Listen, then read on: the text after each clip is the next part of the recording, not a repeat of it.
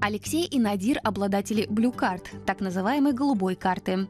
Оба около года назад переехали из России в Германию по упрощенной программе миграции для высококвалифицированных специалистов. А мне хотелось заниматься чем-то, что меняет мир. Ну, здесь пришло предложение, меняющее мир. Тот опыт, который я потом в дальнейшем планирую монетизировать в России, это, который здесь приобретаю, конечно, в России я бы не смог приобрести. Надиру 29 лет. Он родился и вырос в городе Стерлитамак в Башкирии. Потом учился в Москве, остался там, прожил 12 лет. А, в принципе, сколотил себе неплохую карьеру, которая позволила мне переехать в Германию. Предложение поработать в крупном немецком концерне Bayer он получил от рекрутера через социальные сети. Надир – один из 11 тысяч иностранцев, получивших голубую карту Германии в первом полугодии 2017 года. Большинство из переехавших квалифицированных специалистов – граждане Индии и Китая. Россияне на третьем месте. На них приходится 6,5% от числа всех выданных голубых карт. Далее следуют Украина и Сирия – для получения голубой карты необходимо предоставить в консульство диплом об окончании вуза, а также трудовой договор или гарантированное предложение рабочего места из Германии.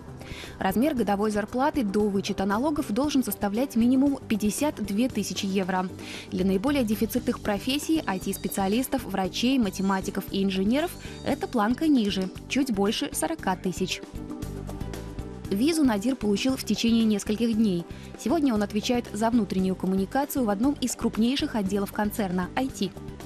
Это почти 12 тысяч человек, и фактически компания в компании.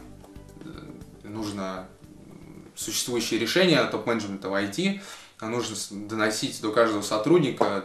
Владеть немецким языком для получения Card вовсе не обязательно. У Надира, например, общение на работе происходит на английском. Правда, он по собственной инициативе намерен в совершенстве овладеть и немецким. Окей. Okay. Поэтому в свободное от работы время он берет частные уроки по скайпу. Ja, genau. Помимо языка, один из важнейших вызовов для него – особенности межкультурного общения. Ведь подход к работе в Германии и России во многом различается.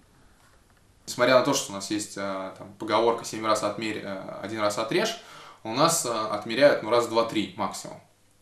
Вот, мне кажется, что семь раз отмерь, один раз отрежь – это очень немецкая поговорка. Потому что я думаю, что они будут отмерять раз 30. Потом подумают еще раз и пройдут этот же цикл еще раз, просто для того, чтобы быть уверены, что они правильно отмеряли все эти 30 раз. Вот, и это действительно, у меня уже было пару так называемых эскалаций, ну, то есть ситуации, когда было недопонимание с, с, с, с коллегами. За год в Германии Надир адаптировался к местным реалиям, нашел возможность заниматься любимым спортом и завел друзей.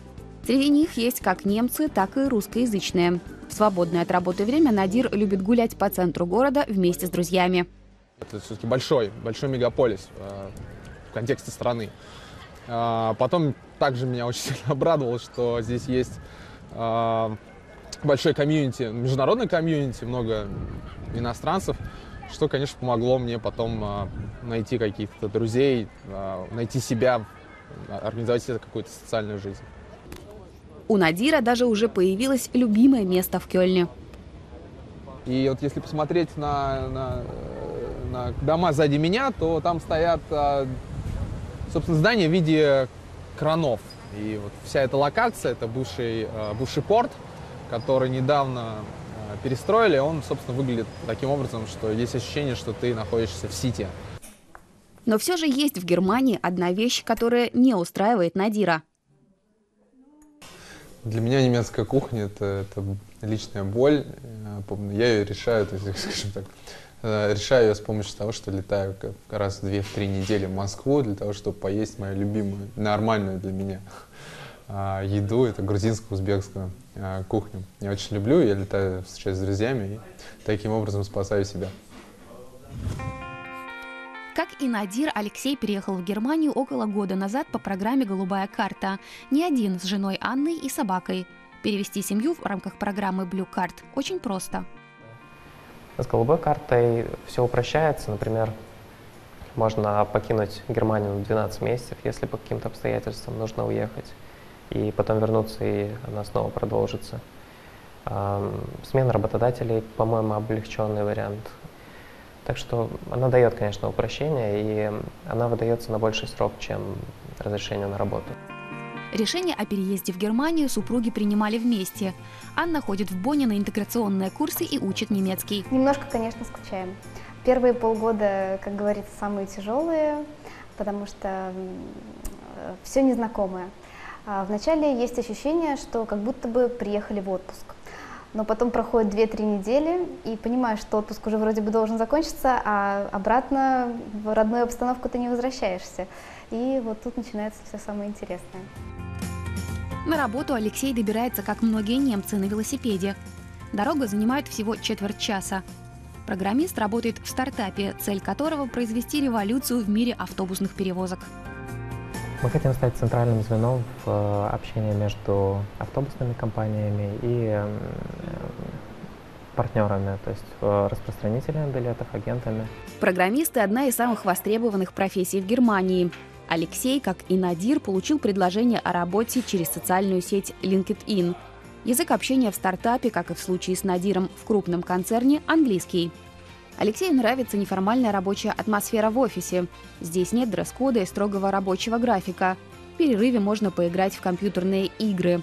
Сотрудники компании во всем помогают петербуржцу, будь то аренда квартиры или решение других бюрократических вопросов.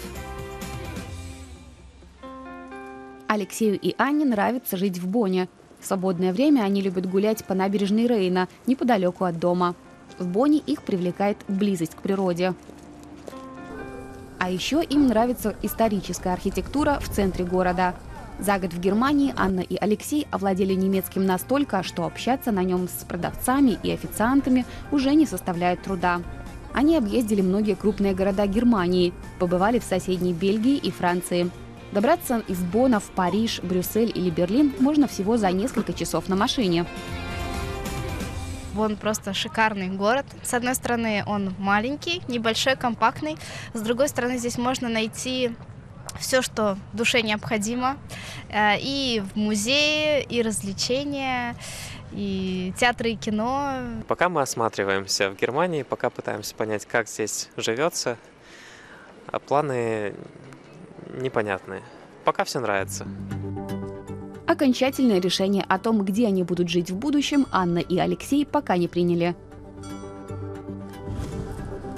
А вот Надир, получив ценный опыт работы в Германии, через несколько лет планирует переехать в другую страну или вернуться в Москву.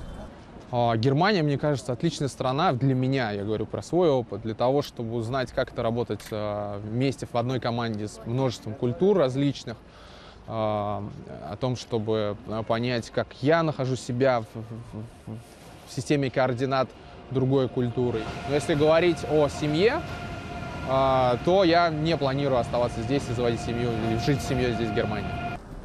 За год в Германии Надир сумел продвинуться по карьерной лестнице.